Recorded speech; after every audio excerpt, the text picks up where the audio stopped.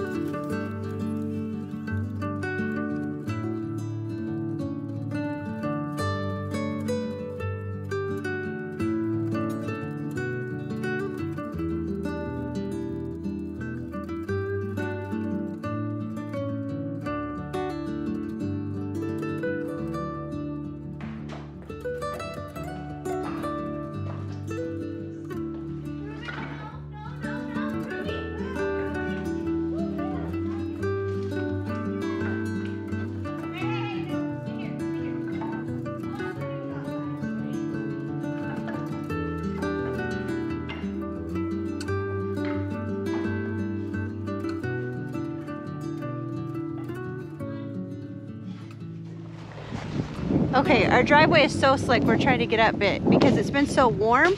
So it's melting. But anyway, so Heath's trying to put some salt up there.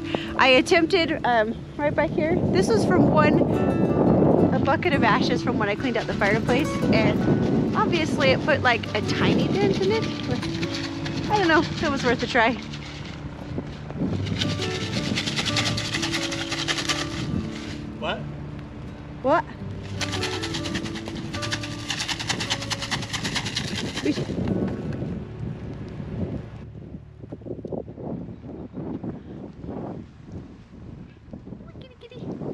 Snow is so wet and heavy right now, and the temperatures have come up so much that, that the snow slipped right off the solar panels this morning, which is good, I suppose.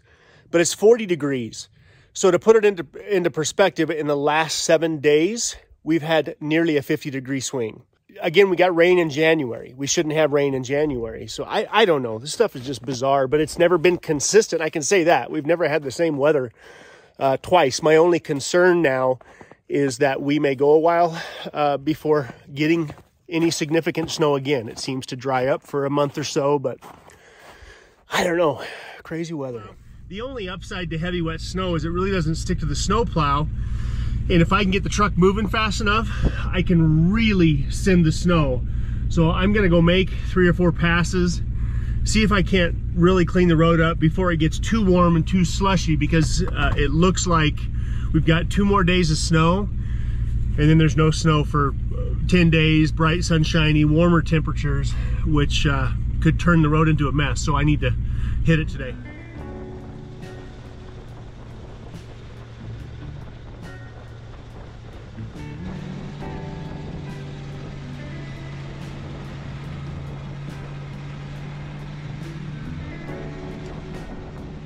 That snow was so wet and so heavy, I, I could barely plow it. Come on, Rube, let's go. I had to go over it three or four times, and I think I'm gonna wait maybe a day or two and let it soften up even more and try and push it again. But it's just so heavy, the plow kept folding over, so.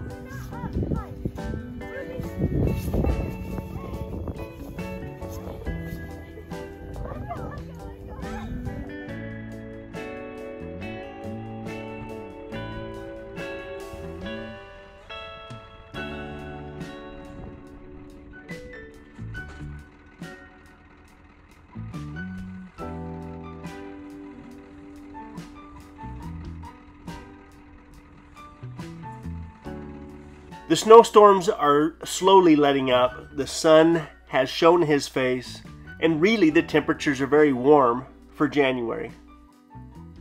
Before I can get the new Cummins backup generator online, I have to run the conduit and the wire that will tie it into our existing system.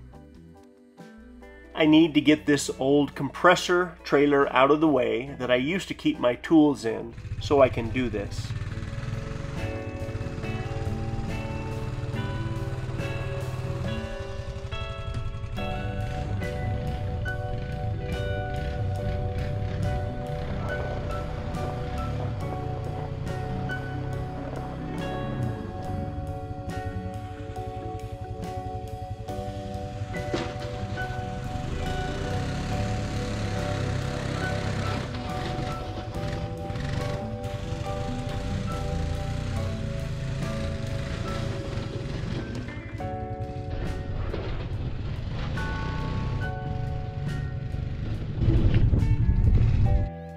I gave somewhere around $100 for that old orange compressor trailer that had had the compressor removed, and I thought it would be a great place to keep my tools, my backup generator, and my welder while I was building the house.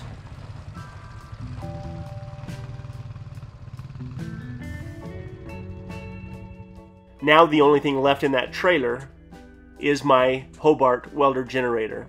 And truthfully, it's too big for what's needed. And I feel like somewhere in the very near future, I'm going to pull that welder generator out of there, build a much smaller portable trailer for the welder, and free up some space by the firewood pile. I was just back behind the shop uh, getting ready to run that conduit and I happened to look up at the solar panels and I can see that conduit on the end is uh, got some snow pushing against it and I didn't glue that conduit because that was where that last three panel array was going to go. And I didn't want to glue it up until everything was done. And now I can see there's some serious pressure on the wires that are uh, feeding our house. All, all of our solar panels go through that conduit. I'm going to climb up there and see if I can break up that heavy snow and uh, get all the pressure off that conduit.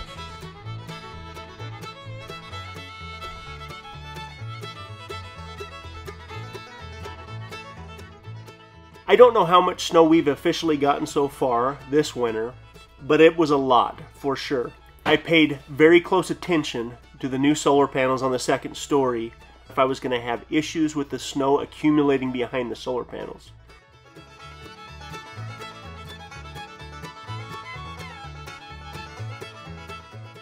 So far, this is really the only issue I've had with the new second story arrays a little bit of heavy wet snow hanging on the unfinished conduit.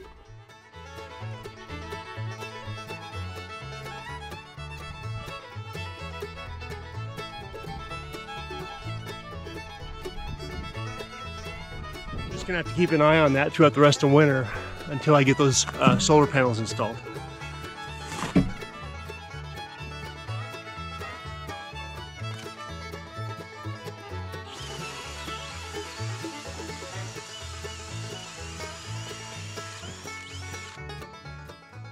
This is the transition between the covering over the firewood and the back of the shop, which is also where the new conduit needs to be ran to get to the backup generator. The conduit is inch and a half conduit and it's aluminum 2 gauge wire.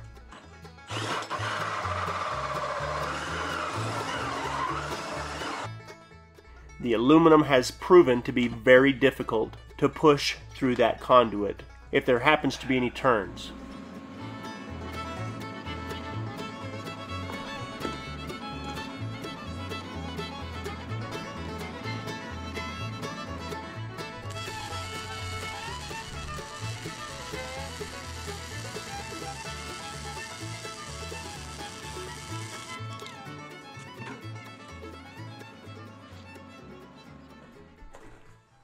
I blew the uh, I blew the center out of this hole saw like 10 years ago and I never threw it away because it's a four inch hole saw and that's a common size for for plumbing. I took a couple of old parts that I had and just welded them together uh, rather than going to town. So let's see if it holds up. We do have some different hardnesses and metals that I'm dealing with here, but I think it, it should be okay.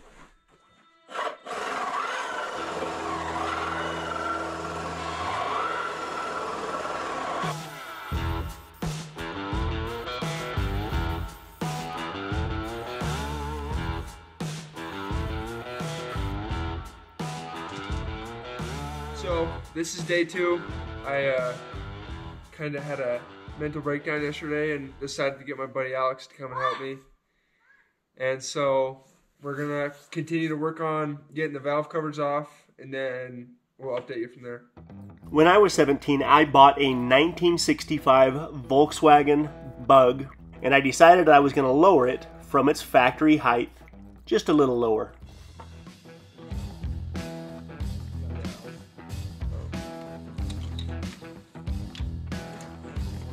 Now we're on to the next side. We just took the valve covers off.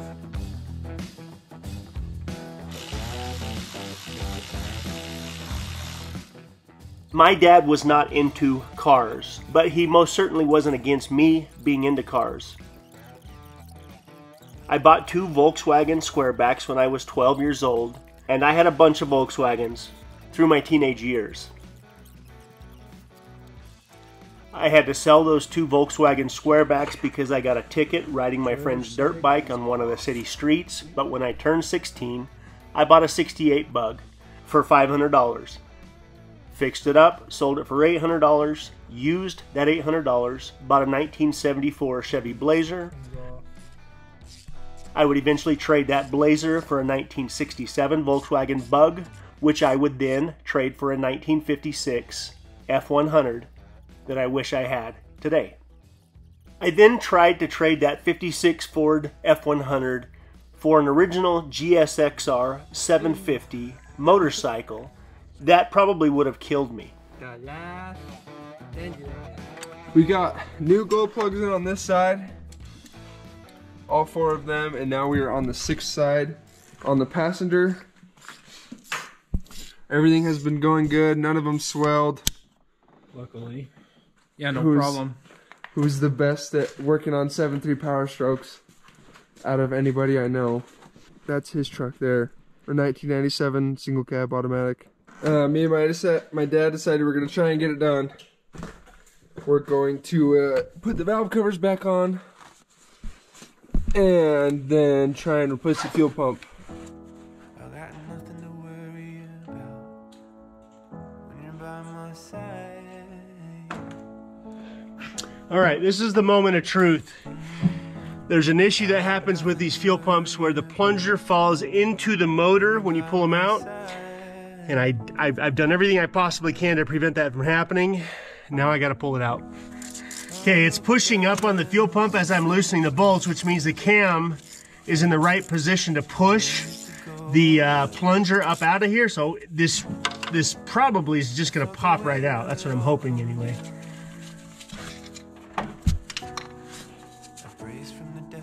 There it is. Hallelujah. Get the old channel locks out for the save. Come on, baby. Be good to me. Ugh. That's it. That's what we were after. That plunger falls down into the bottom of the motor and creates all kinds of problems. I think I've got everything back together. I'm going to try and start it, see what happens.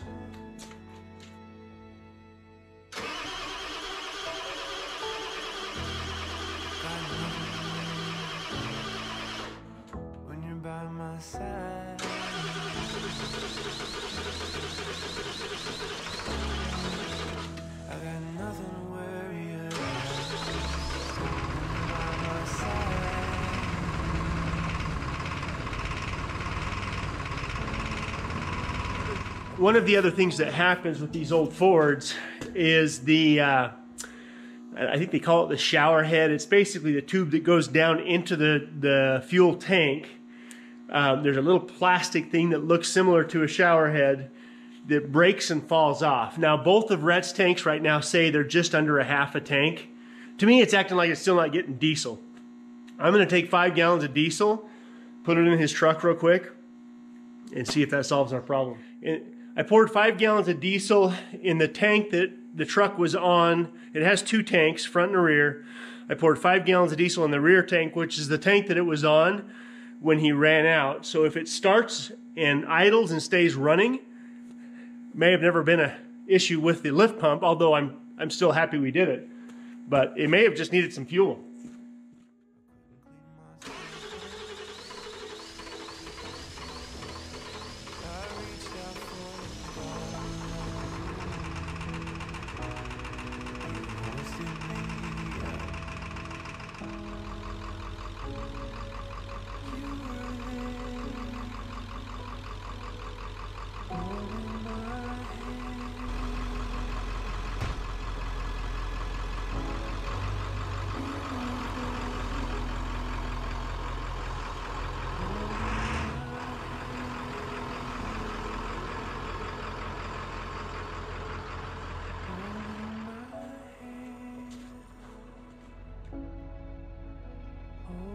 I was about to take my son's truck for a drive, but uh, I'm gonna try and break this off.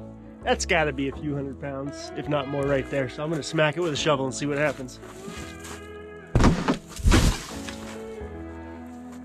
Yeah, that's more, that is definitely more than a few hundred pounds.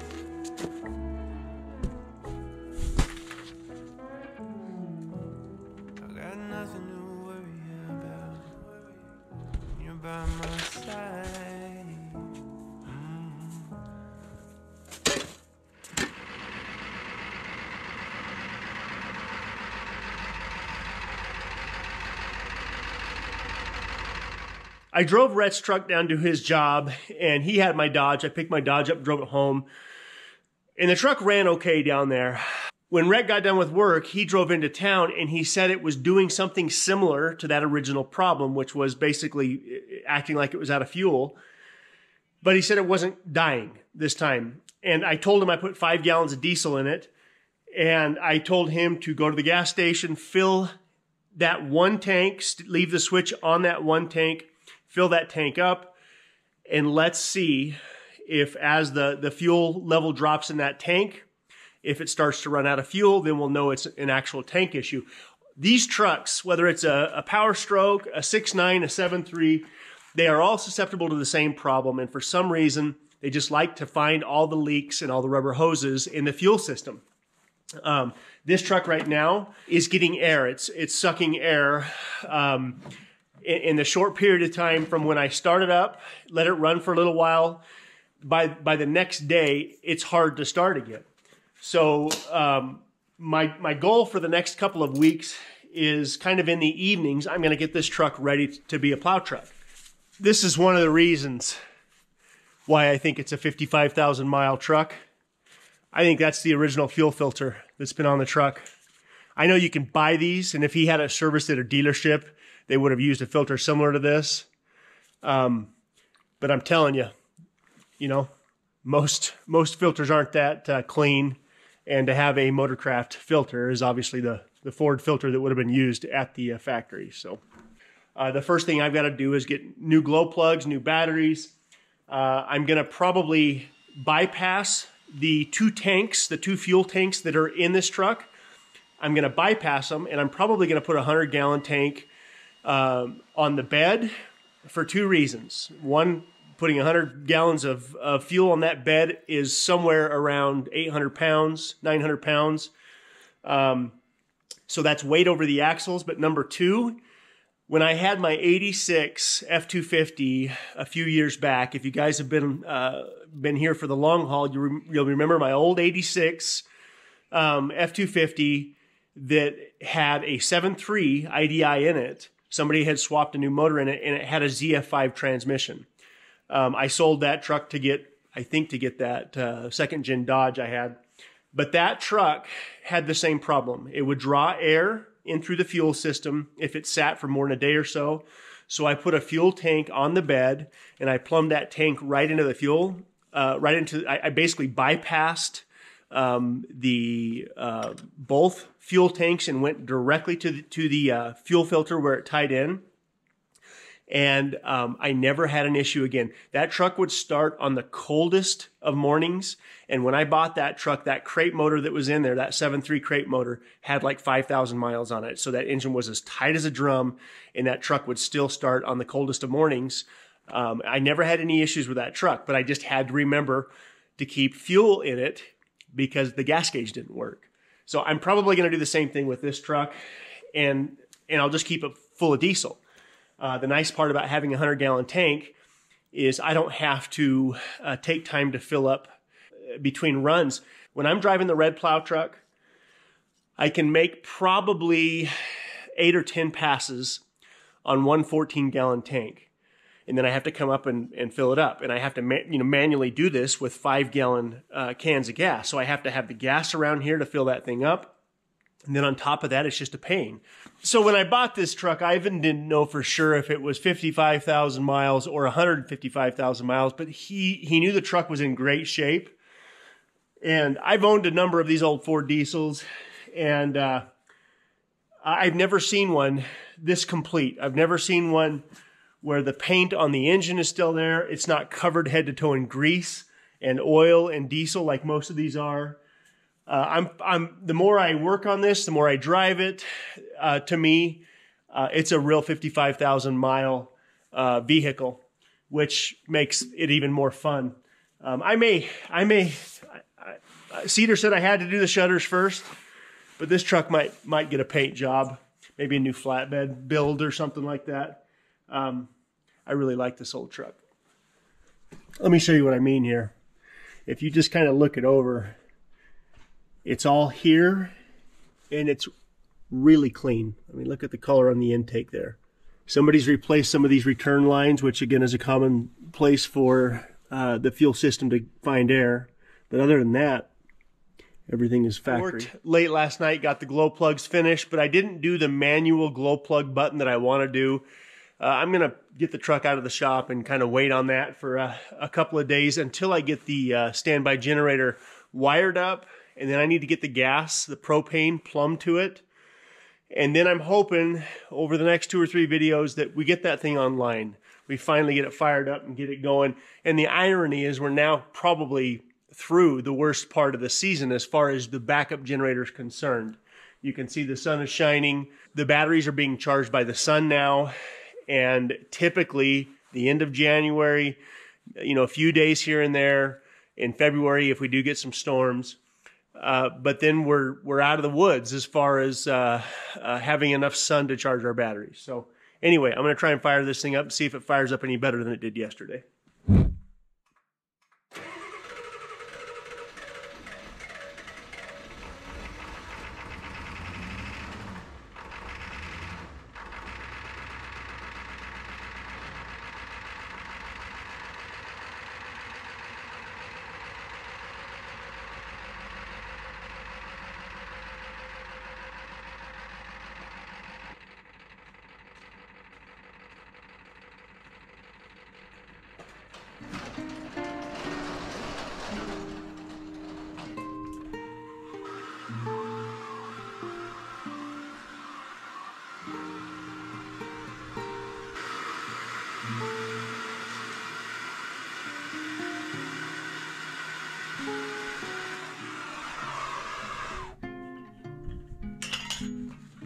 The night that I was supposed to pick up this motorcycle that was one of the fastest production motorcycles available at the time, I was on my way to go trade that 56 Ford truck for that motorcycle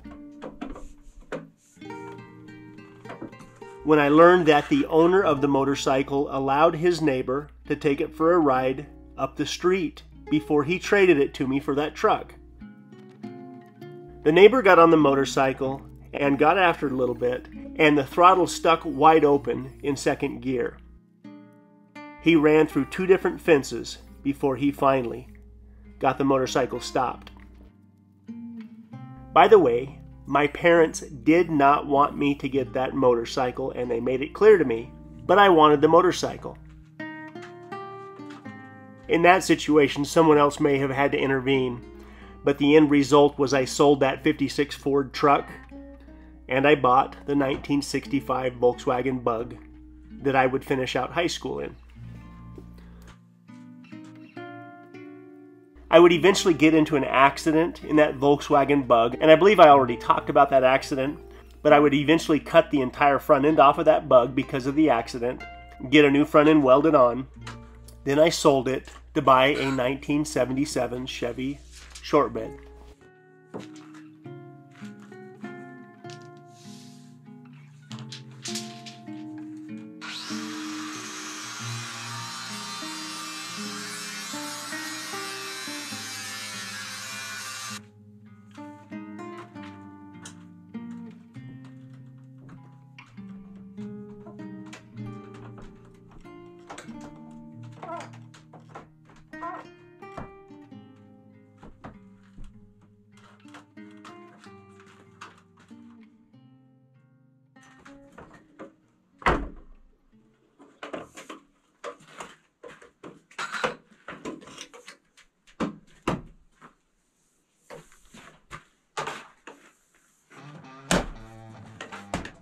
I would eventually sell that 1977 Chevy short bed 4x4 to pay off my lovely wife's wedding ring.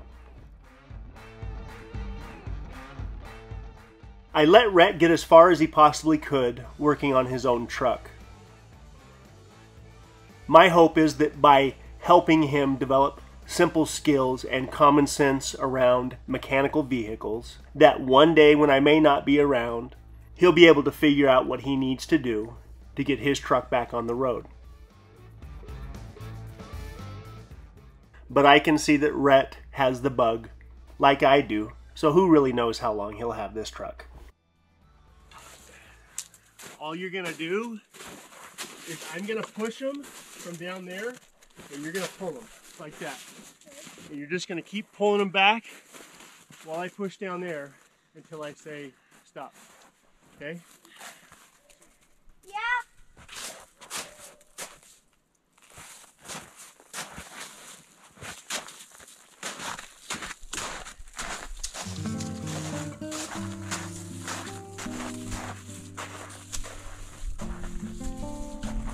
Reed and I were the only ones home, and I needed a second set of hands, and I asked him to put his muckers on and his snow coat, and maybe some pants, and come help me pull a little bit of wire. He agreed on the coat and the muckers, but that was it. You're doing a great job, buddy. Keep pulling. Okay, give me one second. I need just a little bit more. I was able to get the conduit and the wire around the corner, which was the hardest part. Cedar and Reed had to help me, but we got it done. On our next video, we will wire up the backup generator and we will start the process of running the gas lines for the new propane tank.